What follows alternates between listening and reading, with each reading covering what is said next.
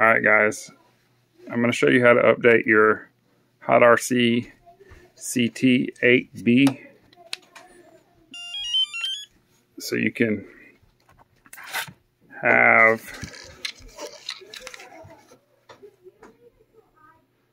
the new style interface and be able to change your colors. So what I did is I used a CP2102. It's a USB to TTL connector. Um, this is it here.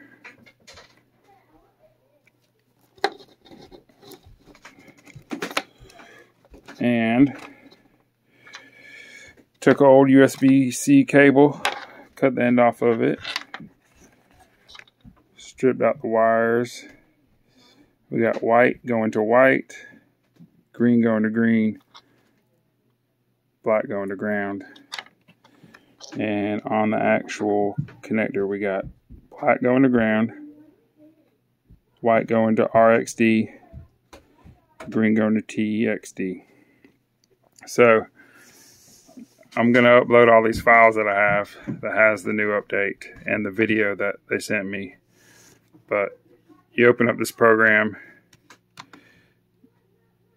you open up the file, you guys, right here, and it's, uh, this is the actual file. It changes it from an 8B to a 10B. And then to connect, here's the fun part. Very, very important here. I had to hook this up try to get back, see if I can get this. Hook this up.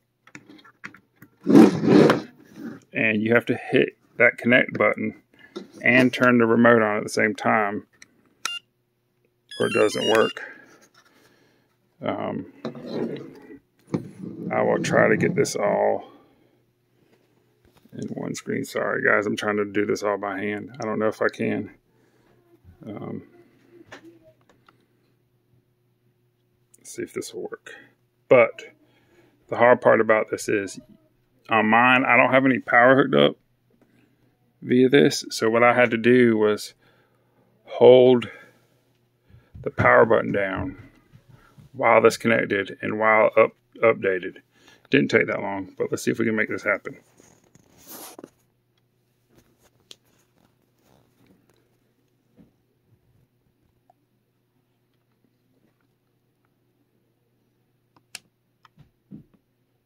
All right, so that's the screen you want. It's just a little status bar.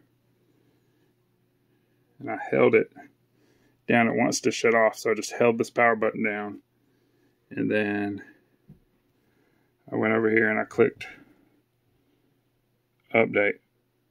I'm not going to do it again um, because I don't want to lose all the settings I just put back in it because I've already done it twice. But that's how you do it. You can use the CH340G basically the same way um, and get away with it. They make a connector. See if you don't hold the power down, you'll see it just shuts off. Um, they make a special adapter.